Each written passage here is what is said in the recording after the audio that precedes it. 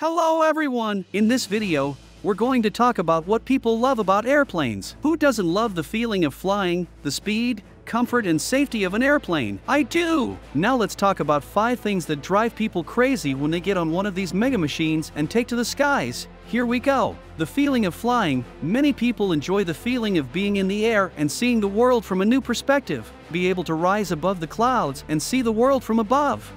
Speed. Planes can travel at very high speeds, allowing people to travel to faraway places in a short time. This is very convenient, especially if you have to travel to a faraway place for business or pleasure.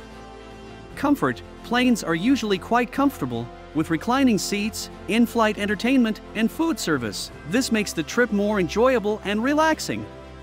Safety. Planes are one of the safest means of transportation in the world. This means that you can travel on a plane with the confidence that you will arrive at your destination safely. The thrill, for some people, flying is an exciting and fun experience. It is a way to escape the routine and live a new adventure. In general, there are many reasons why people love to fly. It's a fast, comfortable, safe, and exciting way to travel to new places. If you have never flown, I encourage you to do so. You'll love it! And do not forget to share, subscribe, and explode in the part of I like this video. Thank you. Until next time.